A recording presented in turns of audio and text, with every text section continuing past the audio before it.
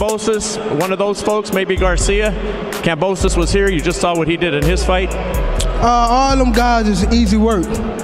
They easy work, man. Easy work. I'm the top dog. top dog.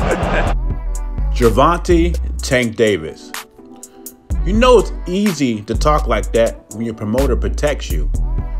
And it's cool to have confidence. But after a while, Tank's been a pro for a while, you want to test that confidence out. You want to fight the best.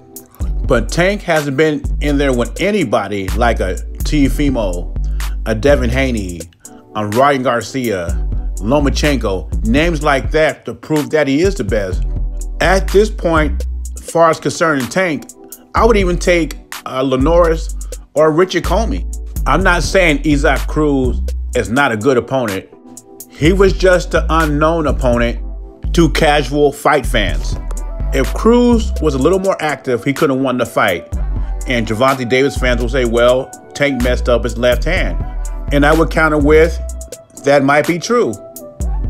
But Tank is not in a hurry to give this guy a rematch. Does this deserve a rematch? Hell We're no. gonna fight anybody. If it makes sense, we're gonna fight the biggest fights that are out there. Making sense.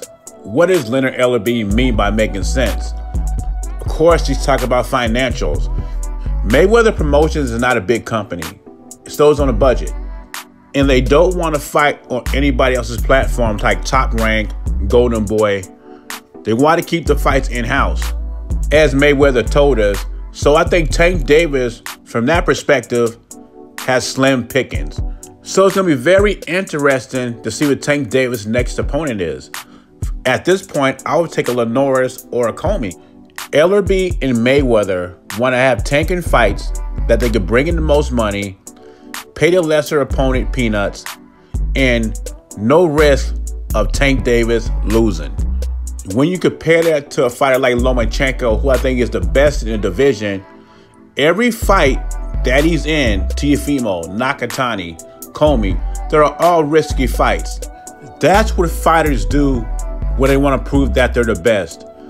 As far as Leonard Ellerbe saying to give the people what they want to see, that's a lie because we did not want no pay per view on Sunday.